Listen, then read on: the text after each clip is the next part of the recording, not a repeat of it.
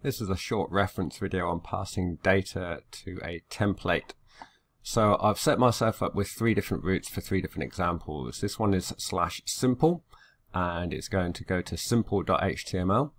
All I've got is two variables, first name and last name, which I've assigned values to.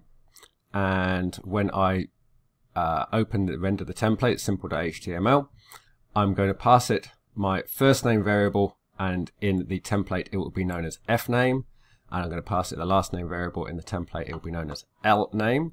Quick look at what that looks like here. So I've got F name and L name as um, what comes through. So if I just have a look at this and go to simple, hello Mr. Smith, as you might expect, F name, L name. Then I've done a list, a list of cheeses, and I am passing that list to list.html when I put slash list on the end of my route. And I'm going it's going to be known in the template as cheese list um, and I'm passing it cheeses. Just uh, just one minor point is that this would probably be the more normal way to do it because otherwise you get confused about your naming of things. Um, I just wanted for demonstration purposes to um, just talk about what's on each side of this assignment so the cheese list is what we see in the template and cheeses is this list here.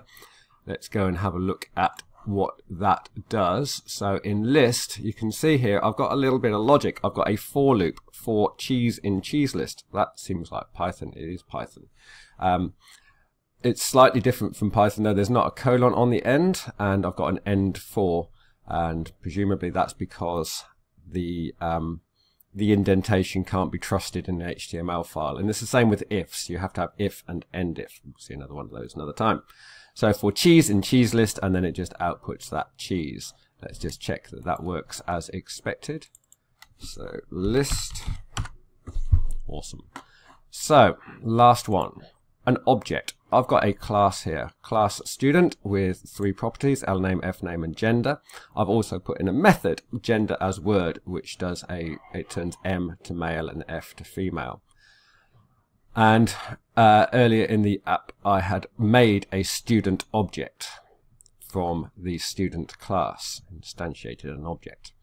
So here's my slash object example, and it renders the object.html and it passes this object. And in this case, I have done student equals student. So the this student here is this student, and that's what we're going to be referring to in the template. Let's look at the template.